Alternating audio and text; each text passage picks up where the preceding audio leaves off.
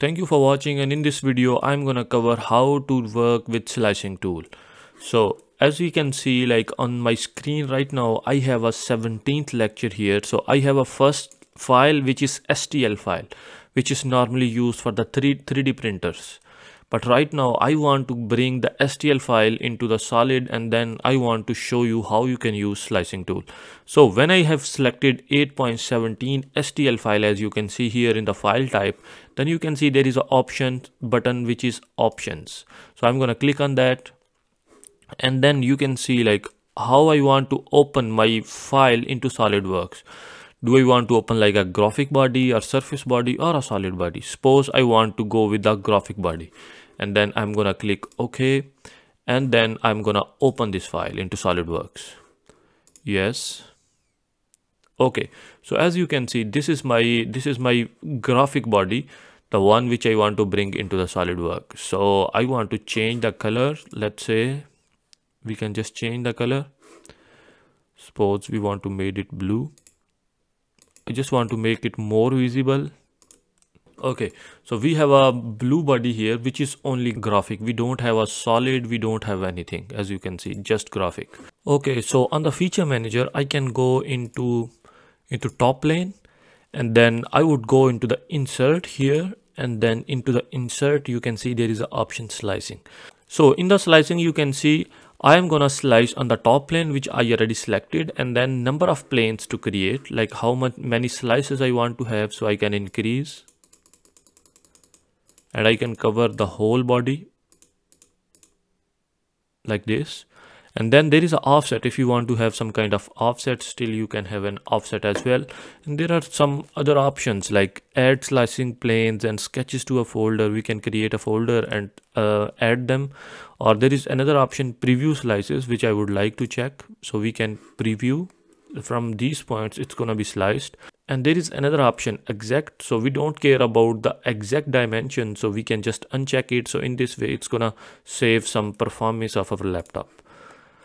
Okay I'm gonna uncheck this. And then there are other options like we can have a boundary box or in whatever the directions but we don't care about them. So I'm just gonna click the green check mark.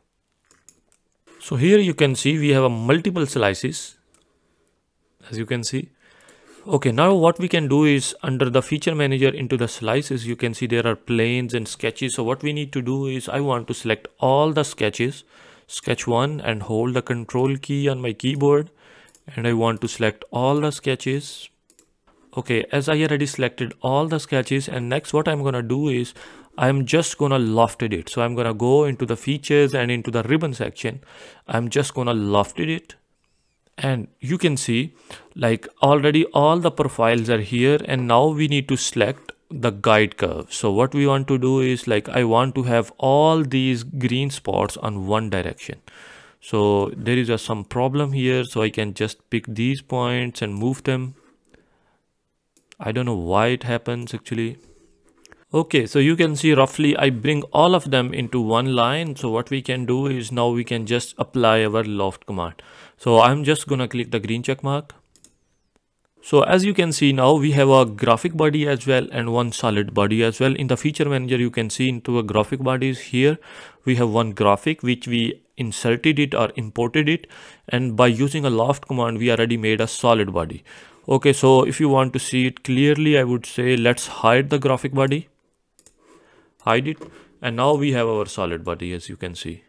And we can sketch or whatever or we want to edit feature or whatever we want to have we can apply on this body because this is not any graphic anymore. This is a complete solid body now. So look there are multiple ways. Like if you can bring us stl file or any external solid body so which is not a part of solidworks and then you can just slice it and if you want to make it solid you can just made it solid and that's all for today's video thank you so much for watching and i hope you enjoyed it if you did, don't forget to hit that like button and subscribe to our channel for more videos like this one. And if you are a serious SolidWorks learner, then don't forget to check the course link in the description. Thank you. Sorry for distraction, but if you think my videos are helpful for you or if you are a serious SolidWorks learner, I am gonna highly recommend you, you can go into the description of this video where you can find my course link in which I have over 10 hours of videos in which I explain each and every command in a detailed way. Thank you.